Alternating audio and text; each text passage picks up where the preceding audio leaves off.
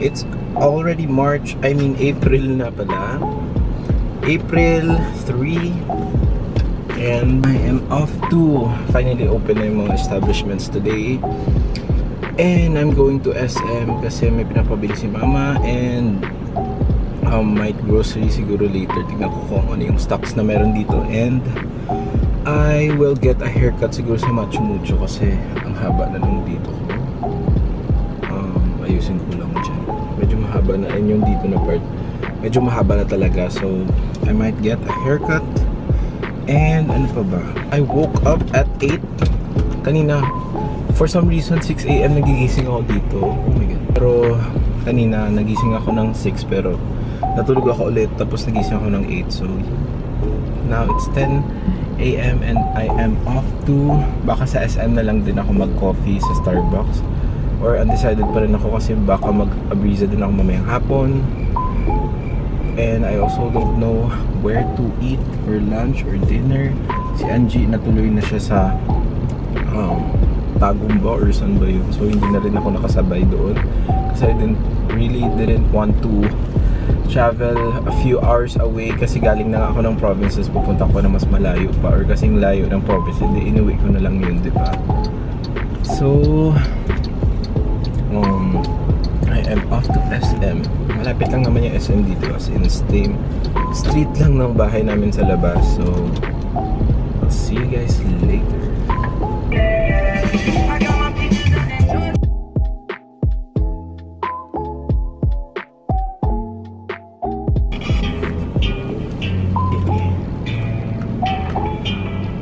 Yahoo! Open na guys!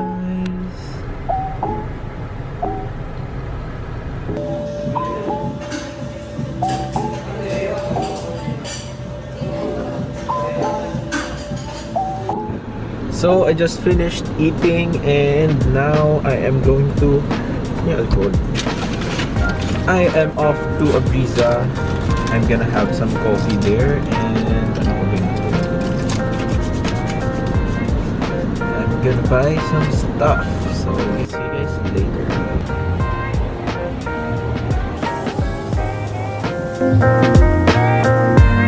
Papa.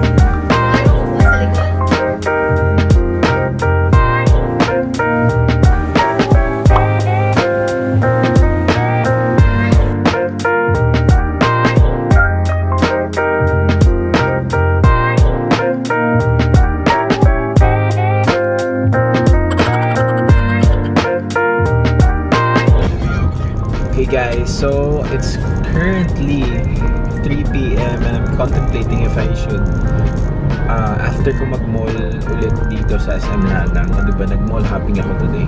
I'm thinking if I should edit some of the vlogs na also I can start, already start editing. I think ang kalabas na nitong pag-film ko for the last 3 days, magiging daily vlog na siya sa sobrang haba. Pero I think I'll see if gagawin ko ba siyang separate videos yung car tour or yung daily vlog or yung cleaning vlog or yung ano kung basta tingnan natin kung anong mangyayari. Pero basically now Sunday na bukas and last day ko na dito ulit I'm gonna go home head home na rin sa province ulit bukas. So bukas ko nang gagawin yung mga work ko na kailangan kong dalhin sa Tacorong pero for now this is the last full day ko sa Davao.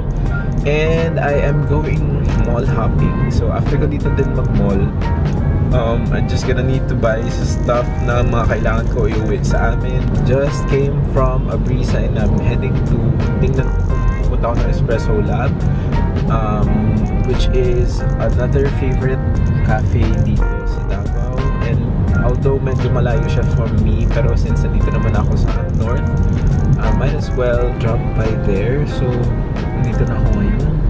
And I'm just gonna buy some coffee, siguro doon ako mag-work. Hindi ko alam kung ngayon ko na siyang gagawin kasi medyo nabusog pa ako sa mga kinain ko kanina sa lunch. Abisa yung nabili ko lang yung mga Korean water para dito sa watch ko. Yun yung panglinis ko talaga.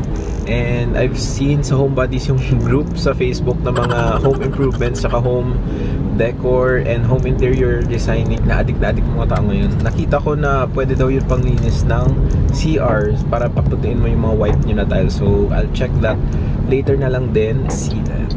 So, dito, nandito na ako sa Espresso Lab.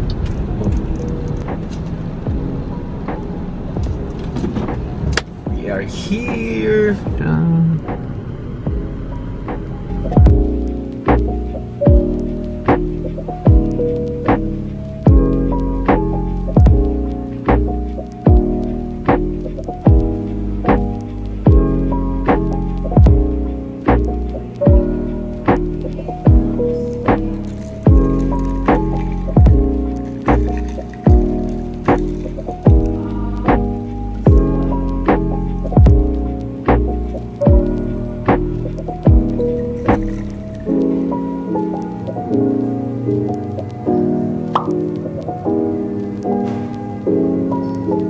Oh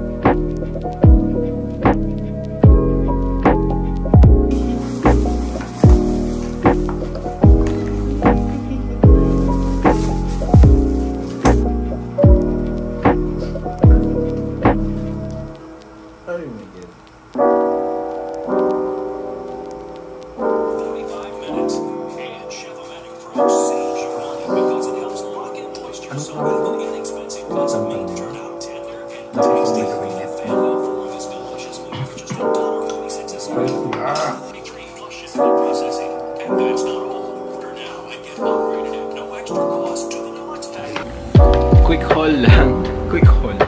Quick, ano lang, what I got today. Meron ako nabili mga skincare products kasi yun nga, merong nagsuggest sa akin. I asked on Instagram before kung ano yung mga magandang uh, recommendations nila or suggestions nila with my problems. So, ito may nagsuggest nito. I got one from Chance. Ano ba ito? It's the COSRX PHA and sana effective siya for me.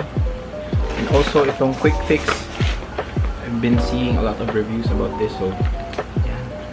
And eto na rin sa Miniso. Nakasale sila kanina, so yeah. That's what I got today and also case na din. Naka buy one take one yung uh, Digibabe kanina. So ito, I got this case. So yeah, basically that's it. I'll see you guys tomorrow. I'm gonna sleep na din siguro. Mag-rest na lang ako kasi 3 days, 4 days ako nag-workout so pahinga naman siguro kasi medyo masakit yung katawan ko.